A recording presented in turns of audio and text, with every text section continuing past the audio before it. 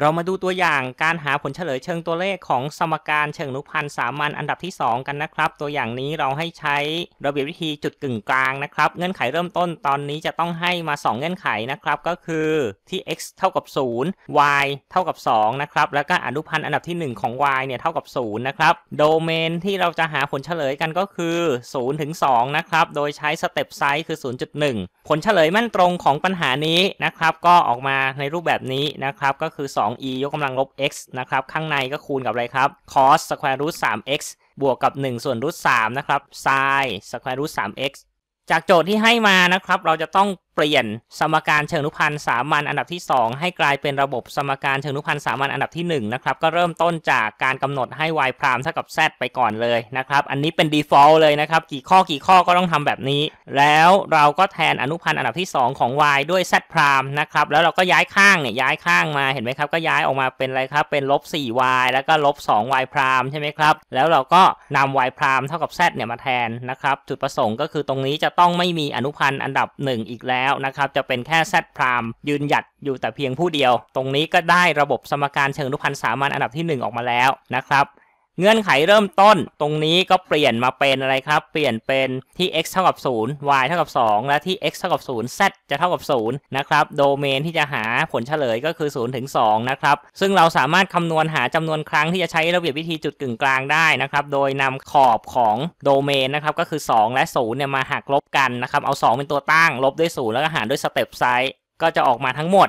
20 ครั้ง โอ้โห เยอะอยู่นะครับ 20 ครั้งก็ต้องใช้เครื่องทุ่นแรงแน่นอนนะครับ แล้วก็มีอะไรอีกครับ อ่า ตรงนี้ผมเปลี่ยนนะครับ เปลี่ยนจาก y 0เลยเนี่ยที่เป็นสัญลักษณ์ทางคณิตศาสตร์นะครับ ให้มาเป็นสัญลักษณ์ที่ใช้กับระเบียบวิธีเชิงตัวเลขนะครับ ก็คือ x 0เท่ากับ0 y 0เท่ากับ2แล้วก็ z 0เท่ากับ0เราเริ่มต้นจากระเบียบวิธีจุดกึ่งกลางนะครับ ทบทวนกันนิดนึงนะครับ ก็คือเราจะต้องคำนวณ k 1 ให้ได้นะครับของ f 1 f 2 คำนวณ k 2 ของ f 1 f 2 เมื่อรู้ k 1 k 2 ครบแล้ว ก็จะคำนวณค่า y i บวก1และ z i บวก1ได้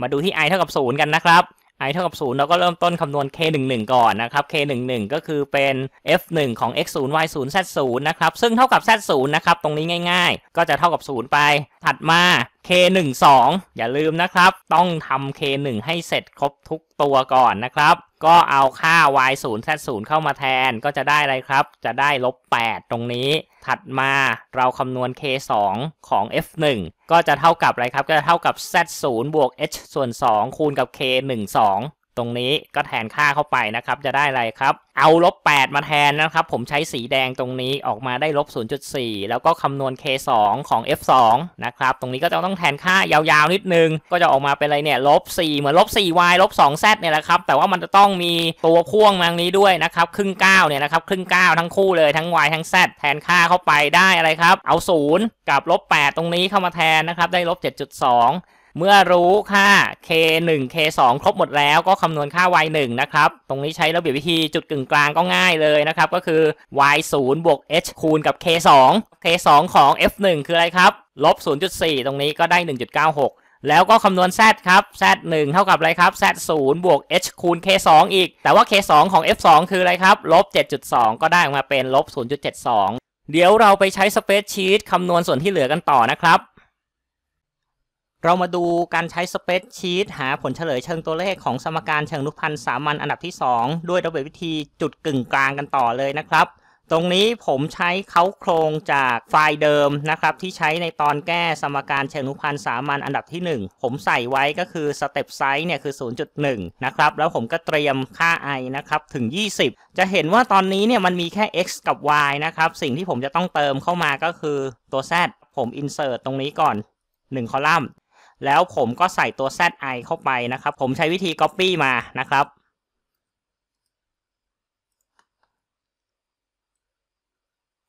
ตรงนี้ก็มีแล้ว เราก็มีตัว zi ขึ้นมาแล้ว ถัดมา ก็ต้องมี k 1 1 k 1 2ถูกไหมครับ ตรงนี้ผมก็แก้เป็น k 1 1ก่อนนะครับ k 1 1 ตรงนี้มันรู้นะครับว่า1คอมมา1มันอยู่ด้วยกันโอเคไม่เป็นไรนะครับ ดีเลยนะครับ ถัดมาก็จะต้องมี k 1 2ด้วยนะครับ insert column แล้วก็มี k 1 2ครับ แก้ไขเป็นเลข 2 นะครับ1คอมมา2อ้าวถัดมามีอะไรอีกครับ ถัดมาตรงนี้ก็เตรียมอีกคอลัมน์หนึ่งไว้ให้ z นะครับ แล้วก็ตรงนี้ก็แก้เป็น k 2 1 นะครับ k 2 1 อ่า แล้วเราก็ insert คอลัมน์หนึ่งนะครับสำหรับ k 2 2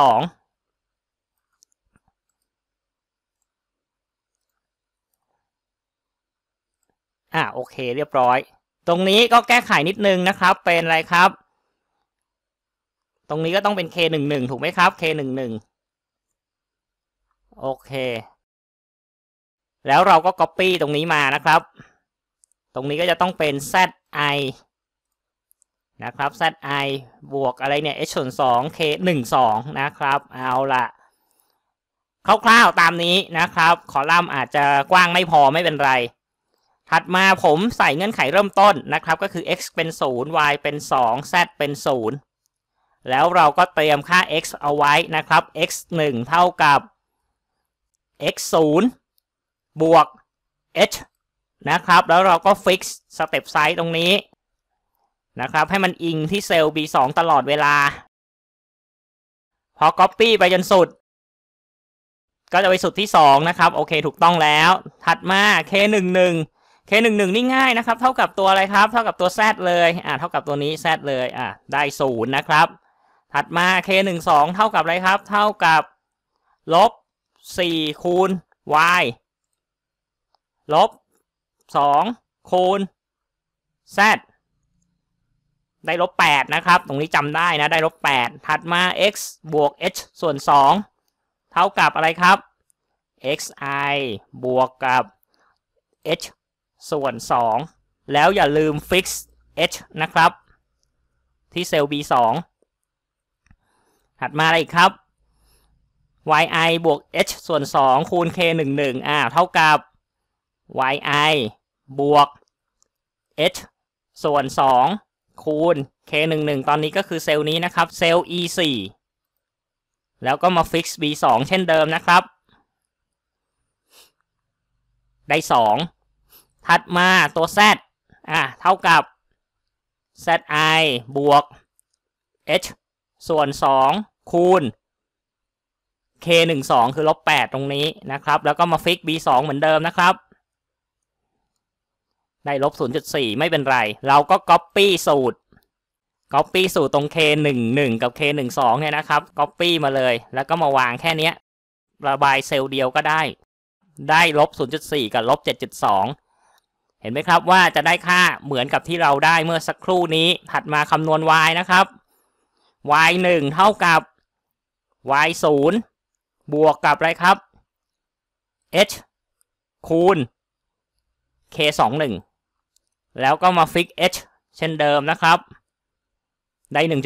1.96 ถัดมา ตรงนี้จริง ๆ จะก๊อปสูตรก็ได้นะครับ แต่เอาผมพิมพ์ดีกว่า เท่ากับอะไรครับ z 0บวกกับ h คูณกับ k 2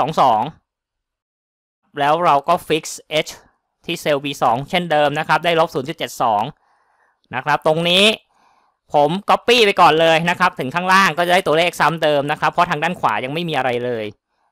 แล้วเราก็เลือกนะครับ ทั้งแถวตรงนี้ส่วนที่เหลือเนี่ยนะครับ แล้วเราก็ลากลงมาให้ถึงแค่ i เท่ากับ 19 ก็พอครับ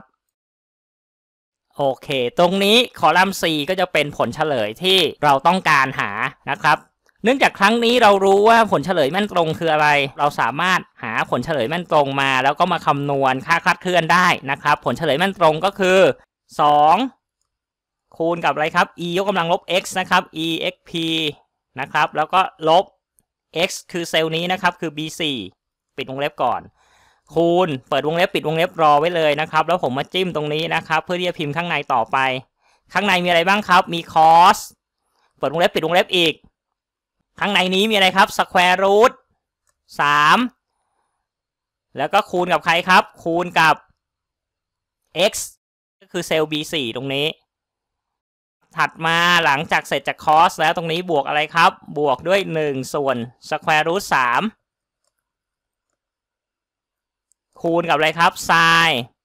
เปิดวงเล็บปิดวงเล็บ แล้วข้างในเป็นอะไรครับ ข้างในก็จะเป็น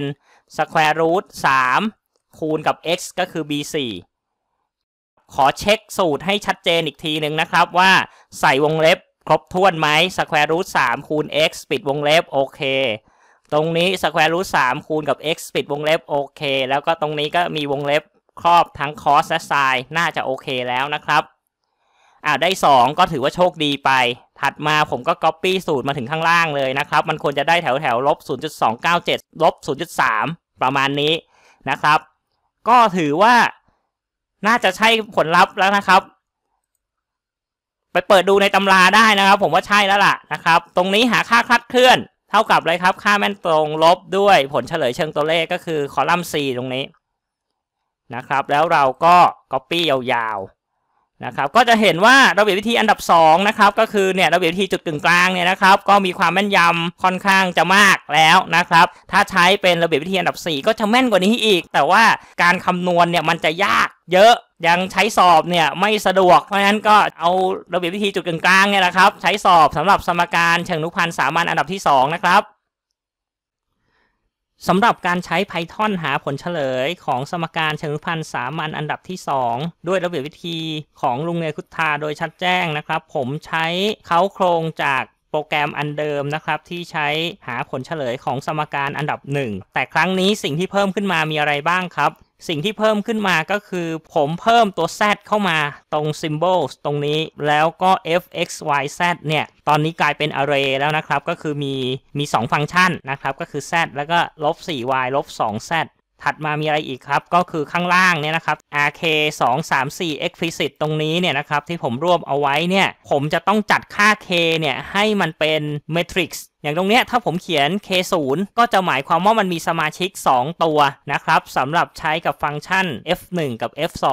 K1 ตรงนี้ก็มี 2 ตัวก็คือใช้กับ F1 F2 อย่าลืมนะครับว่า Python มันเริ่มจากบ้านเลขที่ 0 นะครับ เพราะฉะนั้น K0 ก็จะเหมือน K1 K1 ก็จะเหมือน K2 จะเห็นว่าตรงนี้พอ n เท่ากับ 4 ผมก็จะเป็น 0 1 2 3 ไอ้ 0 1 2 3 ที่เห็นแต่ละตัวเนี่ย ก็จะมีสมาชิก 2 ตัวนะครับ ก็คือเป็น F1 กับ F2 เพราะว่าเราจัดมันเป็น array ไว้ข้างบนเรียบร้อยแล้วตรงนี้นะครับ มันจะทำทีละ 2 ตัวมันรู้นะครับ โค้ดตรงนี้บรรทัดไหนที่เพิ่มอีกอันนึงครับ ก็คือตรงนี้ครับตรงตัว z นะครับ ก็คือ zi เท่ากับ zi ลบ1บวก h คูณ f เนี่ยนะครับ มันก็คือ zi บวก1เท่ากับ zi บวก h อะไรเนี่ยนะครับ แต่ว่าตรงนี้เนี่ยผมใช้เป็น i กับ i ลบ1นะครับ เพราะว่ามันมันเป็นเรื่องของการนับตัวเลขในการวนรอบของการคำนวณตรงนี้ มันก็คือสูตรเดิมที่เราใช้กันตอนบรรยายเนี่ยนะครับ แต่ตรงนี้เราต้องมาดัดแปลงให้เป็น i กับ i ลบ1เท่านั้นเอง มาลองรันโปรแกรมดูเลยนะครับ